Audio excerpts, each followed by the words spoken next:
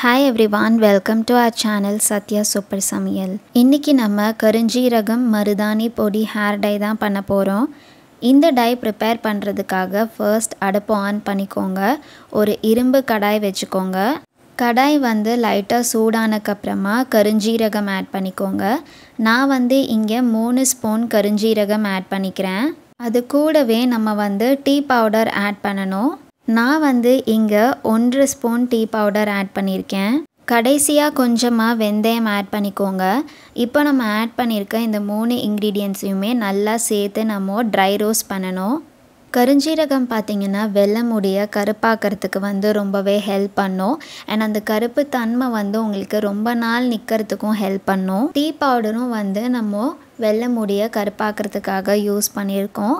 Tea powder வந்து பார்த்திங்கன்னா mostly நிறைய டையில் வந்து யூஸ் பண்ணுவாங்க. அண்ட் கடைசியாக நம்ம வந்து வெந்தயம் ஆட் பண்ணோம்.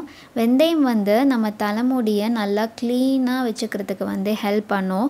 உங்கள் தலையில் வந்து டேண்ட்ரஃப் இருக்குது அப்படின்னா அதெல்லாம் போகிறதுக்கு வந்து வெந்தயம் ரொம்ப ஹெல்ப் பண்ணும். வெந்தயம் வந்து நம்மளுக்கு மளிகை கடையிலேயே கிடைக்கும். அண்ட் கருஞ்சீரகம் பார்த்திங்கன்னா டிபார்ட்மெண்டல் ஸ்டோர்ஸ்லலாம் அவைலபிளாக இருக்கும்.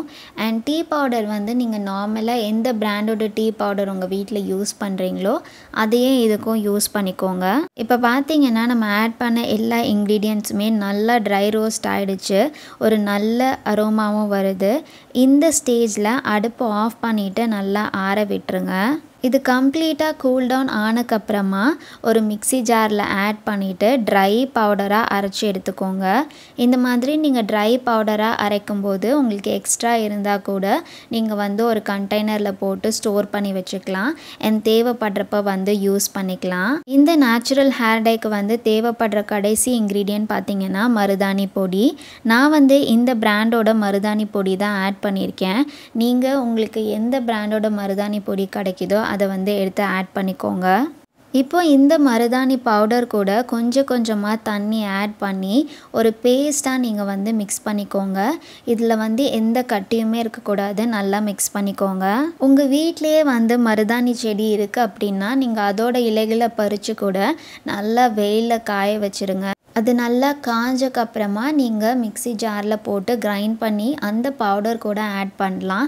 அது இன்னுமே வந்து நேச்சுரல் மெத்தடாக இருக்கும். பட் உங்ககிட்ட அப்படி இல்லை அப்படின்னா நீங்கள் ஆல்ரெடி மார்க்கெட்டில் கிடைக்கிற மருதாணி பொடி வாங்கி ஆட் பண்ணிக்கோங்க.